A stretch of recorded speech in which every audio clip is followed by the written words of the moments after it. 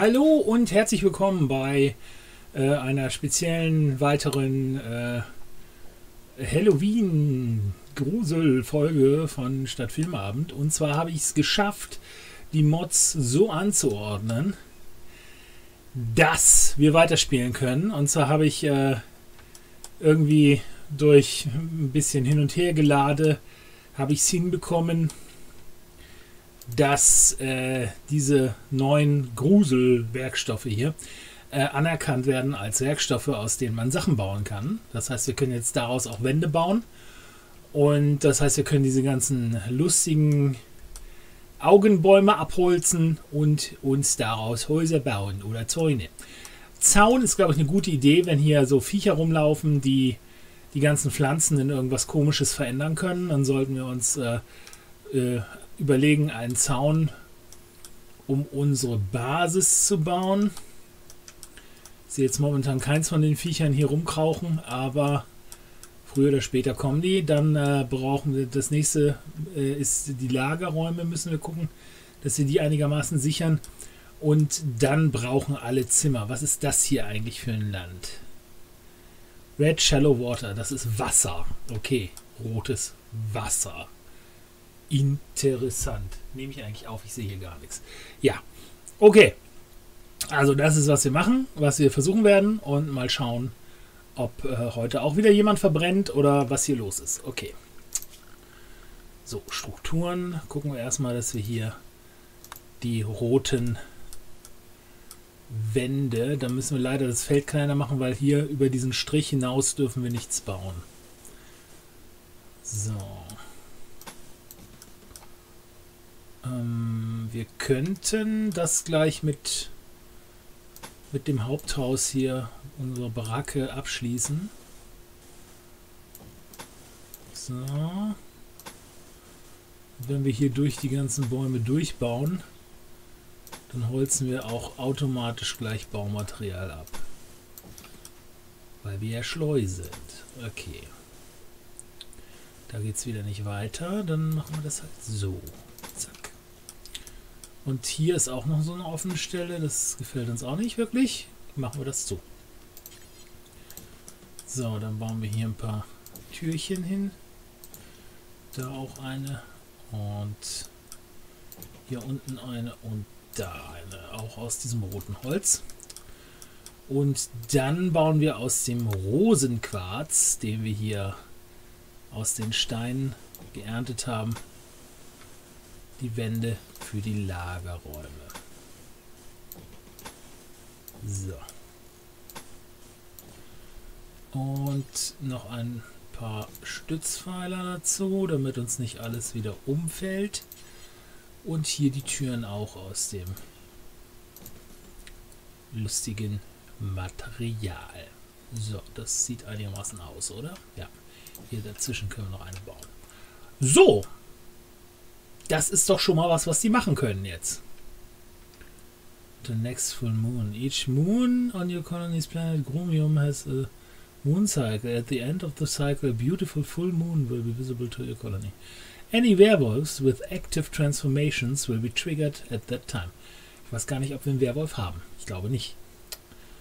Okay, aber versuchen wir mal, äh, ob wir das hier hinkriegen. Sieht gut aus, ja.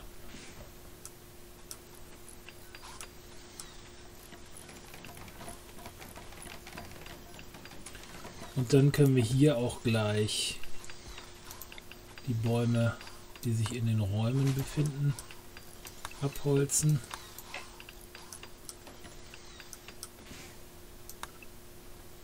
Und hier die brauchen wir auch nicht. So.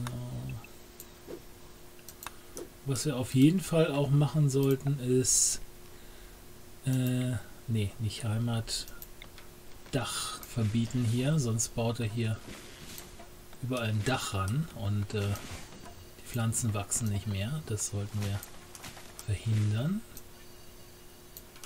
So. Sehr schön. Wenig Nahrung, Jäger ohne Fernkampfwaffe. Ach je, was ist das jetzt schon wieder? Ständig geht mein Handy los. So. So. Kleinen Moment, ich bin gleich wieder da. Eigentlich brauche ich das gar nicht sagen, wenn ich auf die Stopptaste drücke. Aber ich drücke hier auch mal auf die Stopptaste, damit wir nichts verpassen. Prost.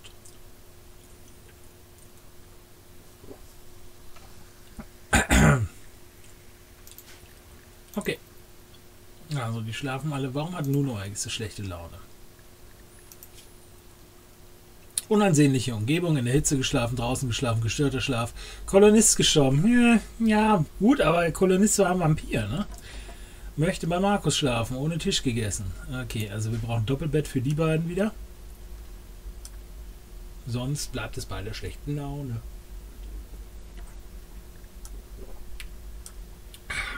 Hier bietet sich ja dann gleich ein neuer Raum, den man bauen kann, an irgendwie, ne?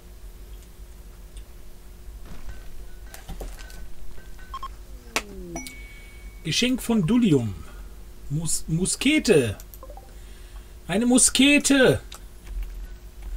Cool. Wer ist denn unser Jäger ohne Fernkampfwaffe? Jefin. Jefin kriegt die Muskete.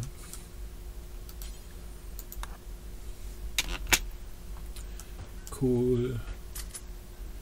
Wir haben noch einen Jäger ohne Fernkampfwaffe. Und zwar Nussi. Okay.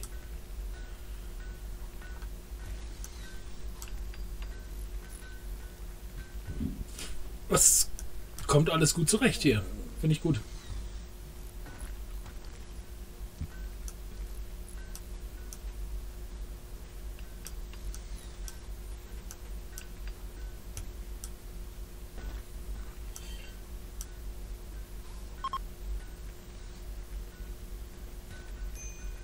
Oh nein, Yefim Pioneer has begun obsessively writing pages of strange symbols. Warum ist Nussi Warum ist Nussi äh, tätigkeitslos? Warte mal, müssen wir noch ein bisschen was anpflanzen hier, damit Nussi was zu tun hat. Hier machen wir noch ein paar Felder. Da machen wir noch was hin. Hier können wir auch noch was hinpflanzen. So, hier machen wir die äh, Rosen. Quatsch. Erdbeeren. Okay. Und hier machen wir Bubbdiwupp. Ähm, Rauchblatt. Und hier machen wir Löwenzahn, Hopfen. Hm. Heugras, Kartoffelpflanze, Maispflanze. Reis haben wir noch keinen. Reis, sehr gut. Und noch eine Heilwurzel. Okay. So, dann hat plötzlich auch Nussi wieder was zu tun, oder? Yefim has no memory of the writing that is still slightly dampened from the sweat of their labors. It's a ghastly book filled with strange alien language that is not readily understood. The ominous looking diagrams of ritual sacrifices and spells within the tome has some colonists unnerved by its occult nature, whereas others have proposed setting up a proper research center to further study the secrets had within. Also quasi Jefim hat sich hingesetzt und per automatischem Schreiben das Necronomicon geschrieben. Und äh, einige Leute sind davon entsetzt, andere Leute finden es gut und äh, möchten gerne eine Researchbank aufstellen, die eigens dann äh, die okkulten, äh, äh, wie sagt man, Eigenschaften des Buches äh, äh, keine Ahnung, wie der Satz weitergeht. Müsst, müsst ihr euch selber denken. Ich habe keine Ahnung. Schreibt in die Kommentare, wie dieser Satz weitergeht. Okay. Ähm, geht weiter. So, jetzt können wir irgendwo bei Diverses Forbidden Knowledge Center bauen. Und hier Sarkophag, das Royal Coffin, das wäre eine Idee, Doppelcoffin. Das wäre eine Idee gewesen jetzt für Bench, aber es kommt jetzt leider zu spät, dass ich, dass ich hier Coffins bauen kann. Hm. Naja, gucken wir erstmal, dass das hier alles fertig wird. Um irgendwelche Forschungssachen können wir uns dann später kümmern. Aber wir brauchen scheinbar mehr rotes Holz.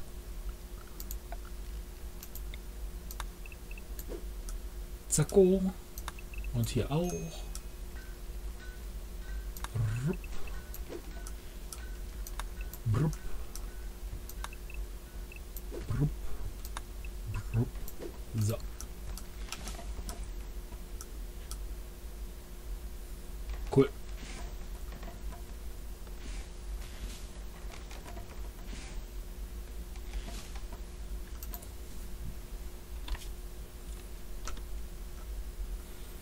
So.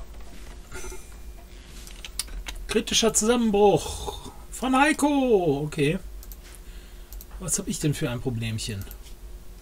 Es ist Tag. Ah. Ich war ja so ein Nachttyp. Okay. Mhm.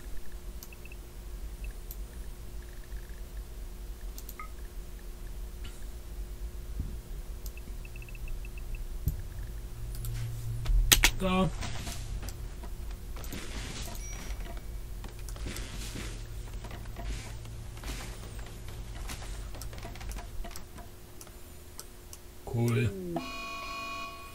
Verrückter Ocular Jelly.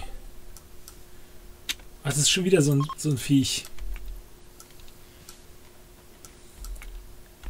Carsten, mach's tot. Was? Nicht weglaufen. Angreifen. Nicht daneben schießen. Treffen.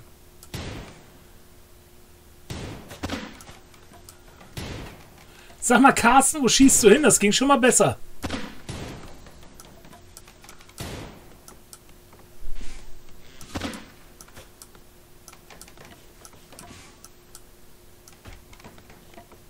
Kerstin.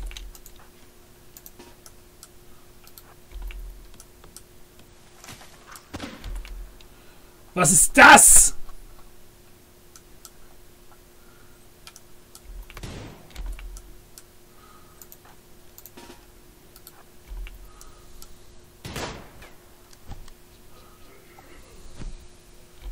Cool, Markus hat uns gerettet, sehr gut.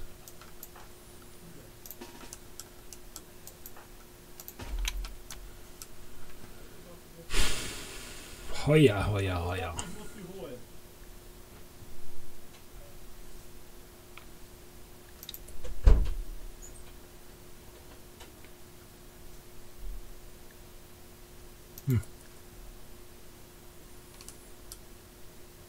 schon zwei davon. Oh. Die alle auf Bereitschaft geschaltet. Aus Versehen. Nussi auch? Nee, Nussi nicht. Cool. Ist fast fertig alles.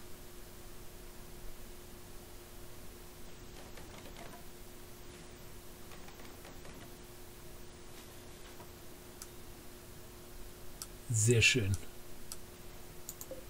Was ist das hier? Red Goo. Cloning in 35%, 10 Tagen. Wozu sind die gut?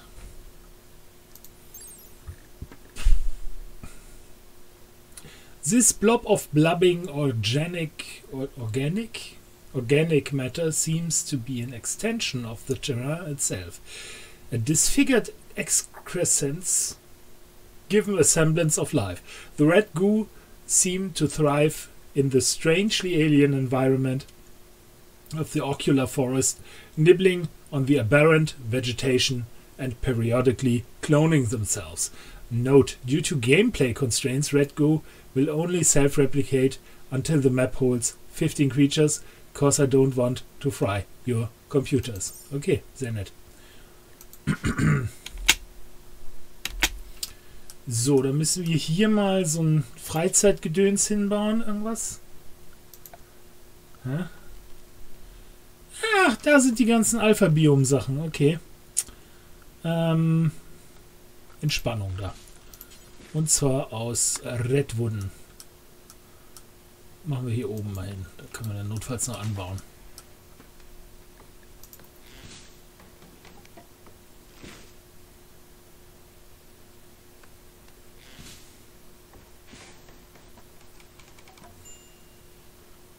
Cool.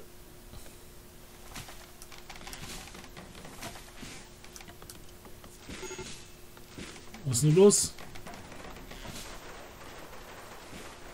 Nice. Sehr schön.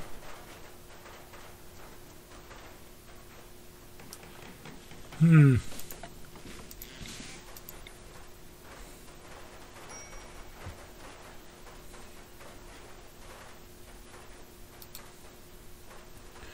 Könnten wir nicht hier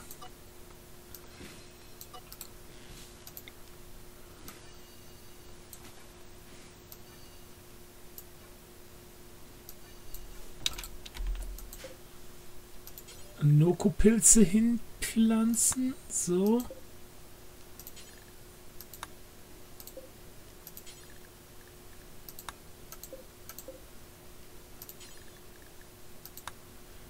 So. Ginge das nicht? Dann wäre der Raum beleuchtet, ohne dass wir dafür Strom brauchen.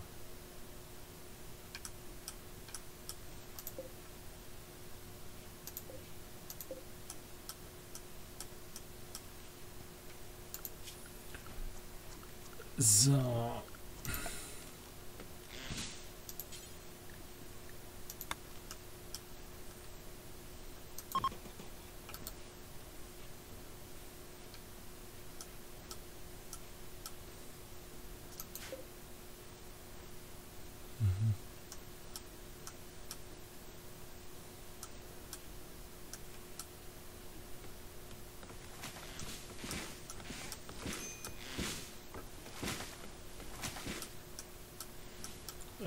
Eine Kochgelegenheit brauchen wir auch.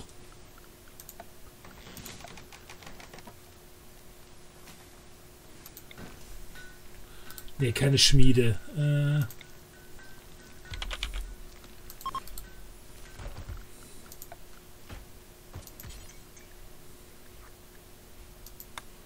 Quarz haben wir noch, ne?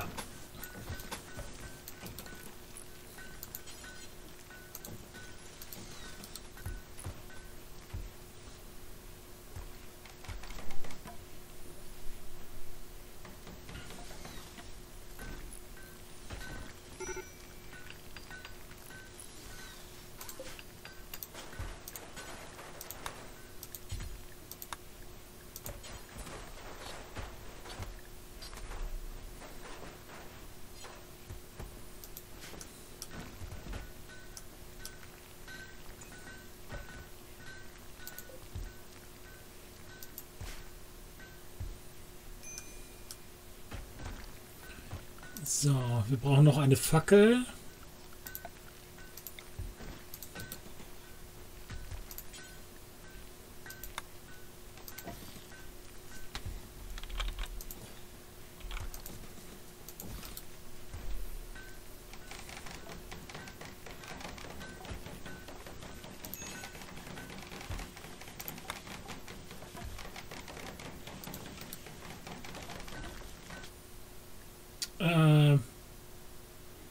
Okay, die Siedlung nennen wir jetzt, äh, wenn wir dabei bleiben, was der Computer vorstellt, äh, äh sich vorstellt, Eleganzburg. Und äh, unser Team heißt Gehados. Kommunaler Bund der Inorum. Zusammenschluss der Südostbonder. Kommunales Iborum-Bündnis. Ah, liberale Nation der Südostchina Kaula. Ja, nehmen wir das mal hier. Ähm, Hose. 404. Und Eleganzburg lassen wir mal so.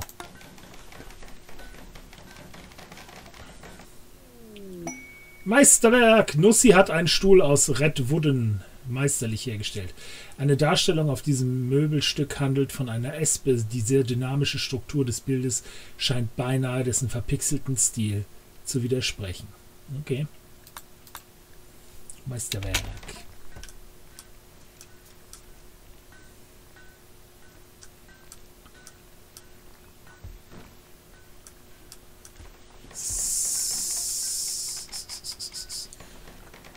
So, wir haben noch genügend von den Steinen übrig. Das heißt, wir können noch ein paar Räume bauen.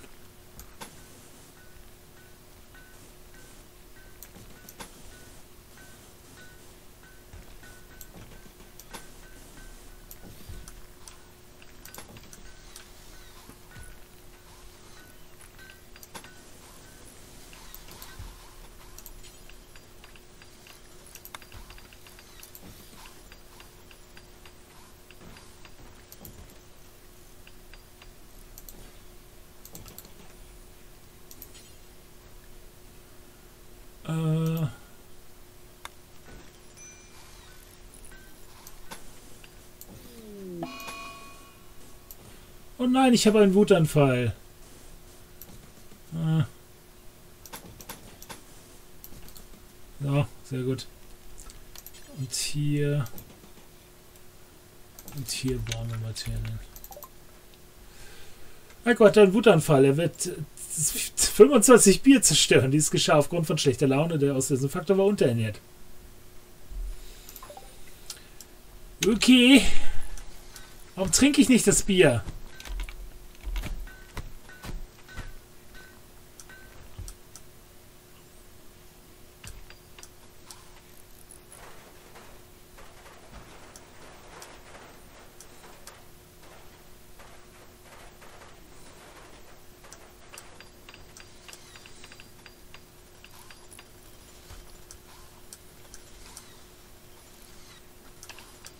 Wächst das überhaupt hier? Ach so, okay.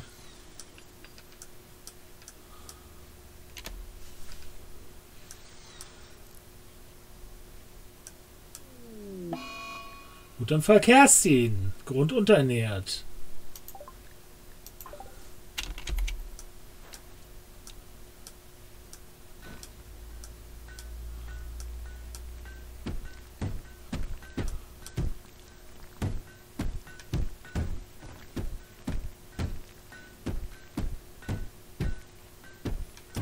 Oh oh.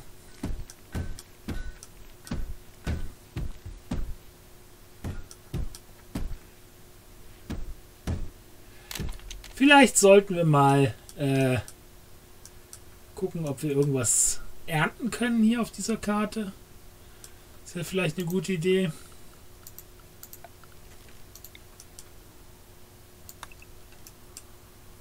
Oh scheiße. Ist nichts zu ernten hier, oder?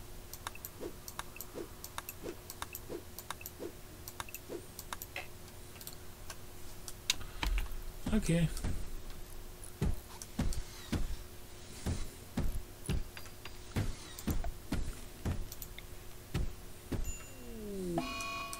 Jefim jetzt auch noch.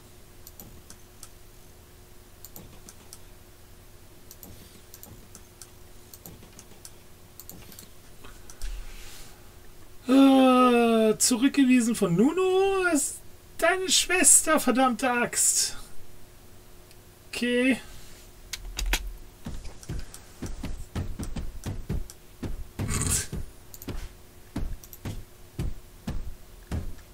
Oh. Bekannter.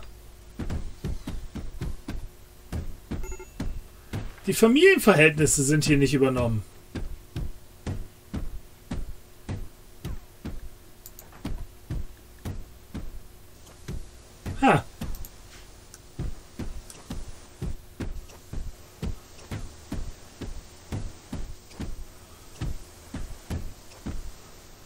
Okay, Jefim haut alles kaputt. Und Nussi und ich laufen hinterher und reparieren es wieder.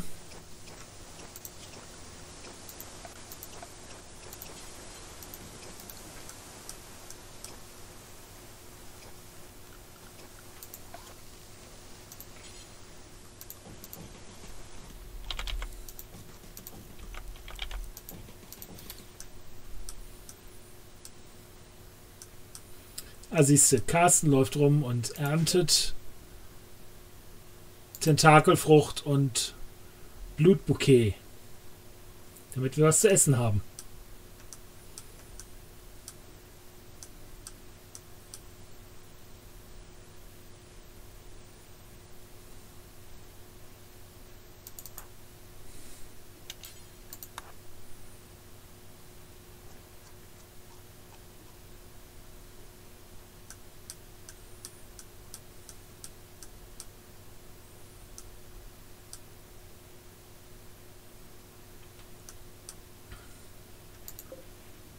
Aufgaben. Einfache Mahlzeit kochen für immer.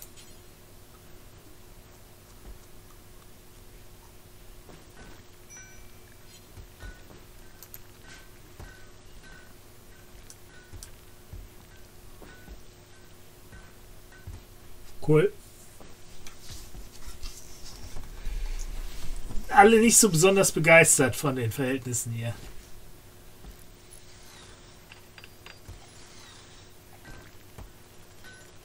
Aber die Zimmer sind so gut wie fertig. Das ist auch schon mal was.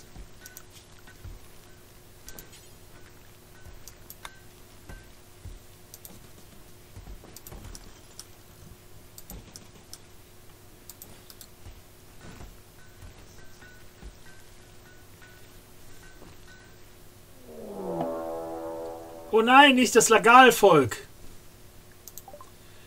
Eine Ureinwohnergruppe der Fraktion Das Lagalvolk ist in der Nähe eingetroffen. Sie greifen sofort an. Naja, Ureinwohnergruppe, das ist der eine Typ da. Wir haben natürlich kein Gefängnis.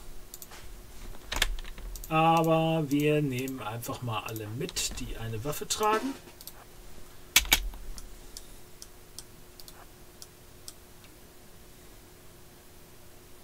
Normale Kaninchen laufen ja auch noch rum.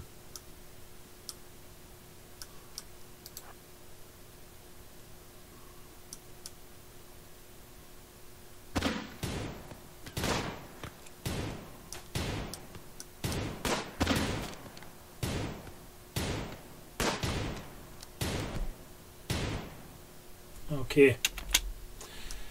So, was machen wir denn jetzt? Wir haben hier Räume. Äh wo noch keine Betten drin sind, die aber quasi als Gefängnis erstmal dienen könnten. Dann machen wir hier mal so einen Schlafplatz rein. So, und dann nehmen wir den Gefangenen, Typen. Das kann man Nussi machen als Rauschmeißer, als ehemaliger. Hat er da die besten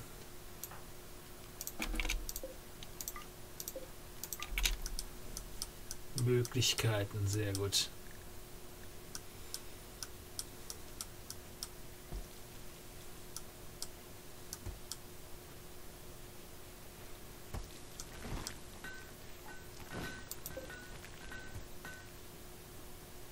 Warum kein Dach? Warum ist hier kein Dach?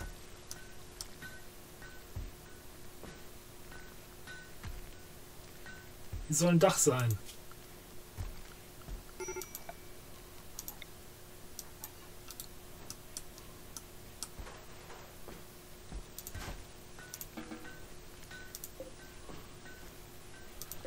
So, gucken wir mal, der Raptor, was ist das für einer? Kunst kann er gut, soziale und geistige Arbeit kann er ein bisschen. Ansonsten kann er nix, ist hochsensibel, sieht aber gut aus. War das eine Art Mutprobe, dass sie hier alleine angegriffen hat oder was? Wollen wir den haben?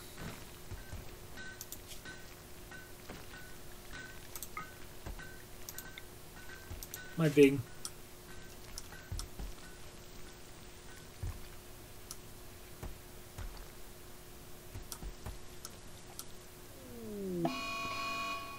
Blood Moon! One of the moons of this planet has orbited in front of the sun. It's a Blood Moon! So, nun könntest du vielleicht mal den Typen... Ah ne, der ist... Ist schon verarztet? Ja, ist er. Okay. Ah! Aber dann würde ich mal sagen, das ist ein idealer Punkt, um äh, beim schon wieder je viel Wutanfall. Eieiei. Na gut. Äh, ist der ideale Zeitpunkt, um hier einen Cut zu machen und dann äh, morgen weiterzumachen.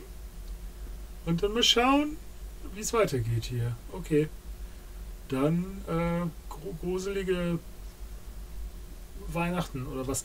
Äh, und äh, drückt die Glocke und äh, freut euch einen Keks und schreibt einen Kommentar und mh, mm, liked dieses Video. Bis dann. Ciao.